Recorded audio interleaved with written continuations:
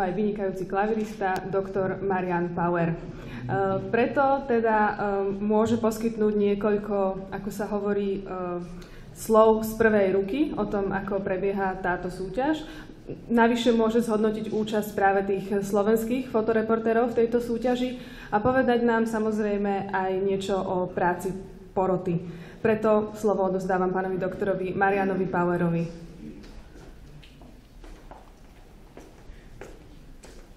Vaša excelencia, vážený pán rektor, vážený pán dekan, vážené dámy, vážení páni, je pre mňa obrovským potešením a cťou, že ste prijali naše pozvanie a že ste prišli na túto prvú zahraničnú reprízu Czech Press Foto po tom, čo v Prahe nevedeli, čo majú robiť s návštevníkmi, pretože lámali skutočne všetky rekordy návštevnosti, aké doteraz mali.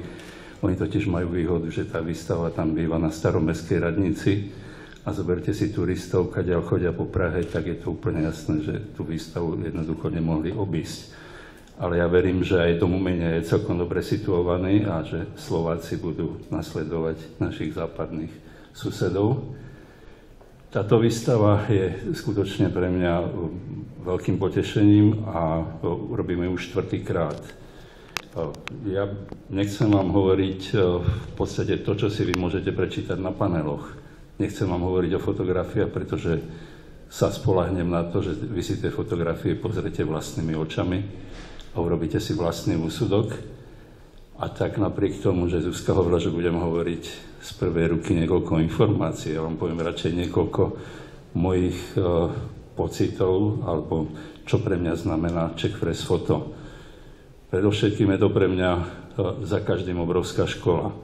Chodím tam už 6 rokov, čiže už by som mal mať za sebou aj bakalárske, magisterské, ale napriek tomu sa stále cítim ako nováčik, pretože tá porota je každý rok iná. Tam sa mení zloženie poroty a je to neuveriteľné. My tam v tej porote nemáme prezenčky, ale napriek tomu tá porota musí vás cítiť a všetci tí ostatní členovia vás musia takisto rešpektovať a musia si uvedomiť, že aj vy ste tam Takže musíte vedieť obhájiť svoj názor, jednak najskôr ten názor povedať a potom ho obhájiť.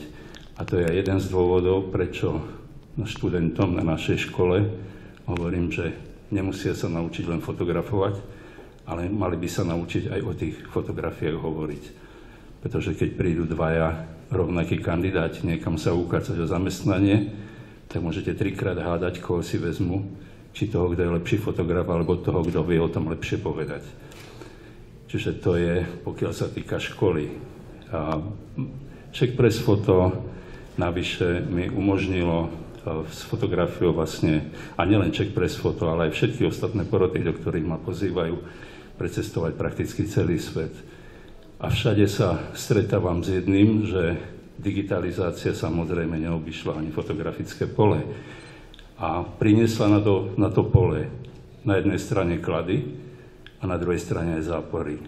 Z tých kladov by som z pozície zase novinárskej fotografie ocenil predovšetkým to, ako rýchlosťou, ako jednoducho dá sa z miesta činu doručiť fotografia do média, akéhokoľvek.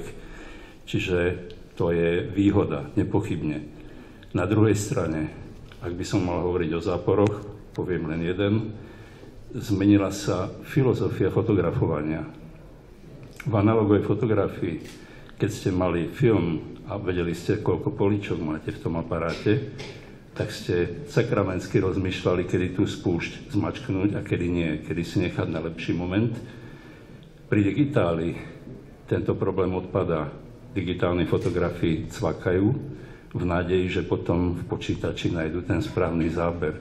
Chcem ich vyviesť milu, že ten záber nenájdu, ak ten záber nevidia vtedy, keď stlačajú spúšť. Ušetria si tak kopu času zbytočným hľadaním. Vďaka fotografii mal som možnosť stretnúť skvelých ľudí, vynikajúcich umelcov.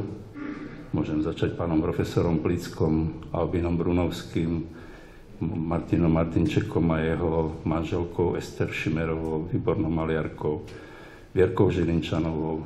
Tu medzi nami je Karol Kálaj, s ktorým aj teraz máme nejaké plány ešte spolu.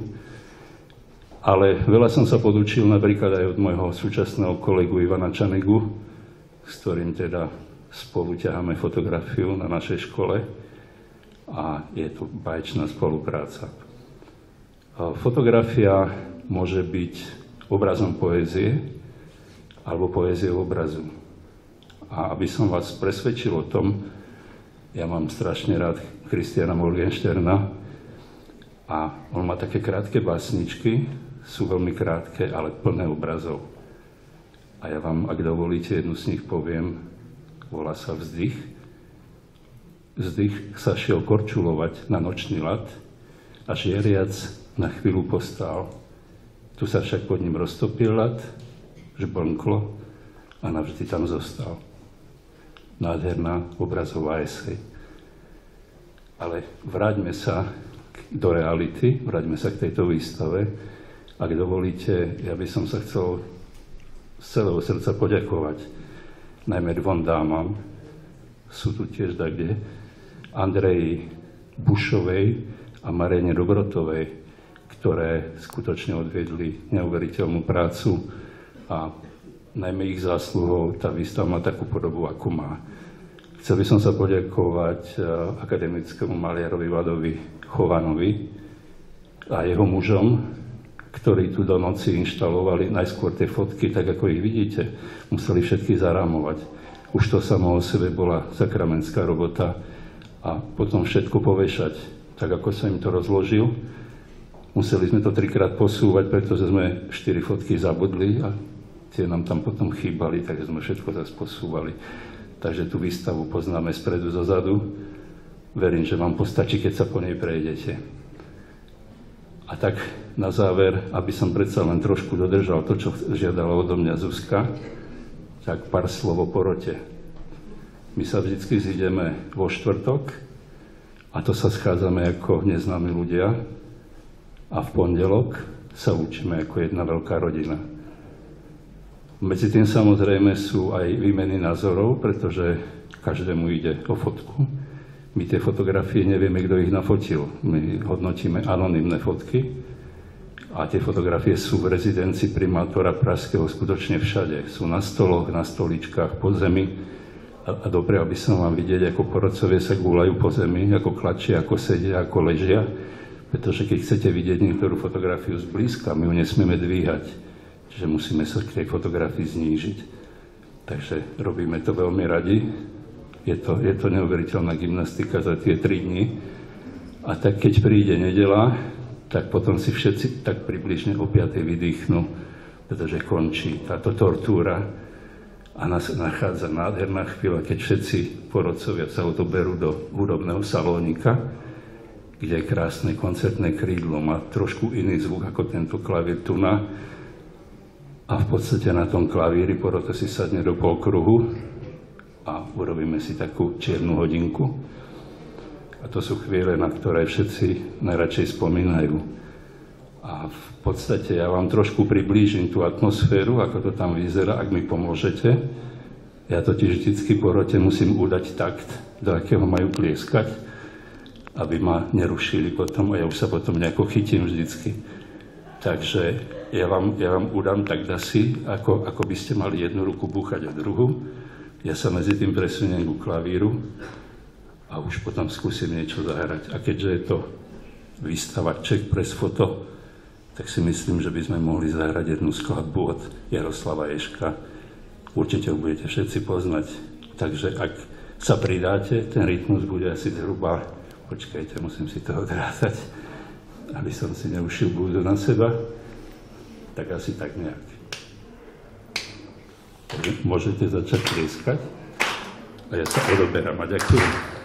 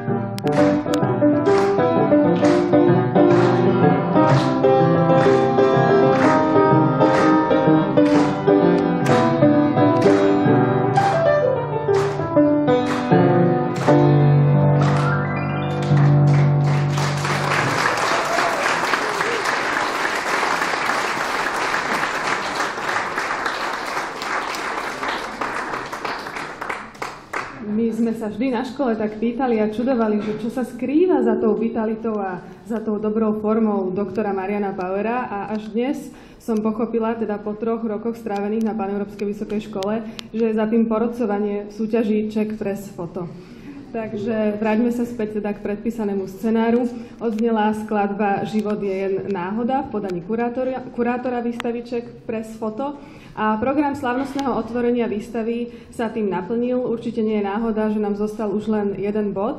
A to poďakovať všetkým hosťom a návštevníkom, ktorí prijali naše pozvanie. Chcela by som vás pozvať teda na prehliadku výstavy, aj na malé občerstvenie. A teda dovidenia o rok. Želám vám ešte krásny večer.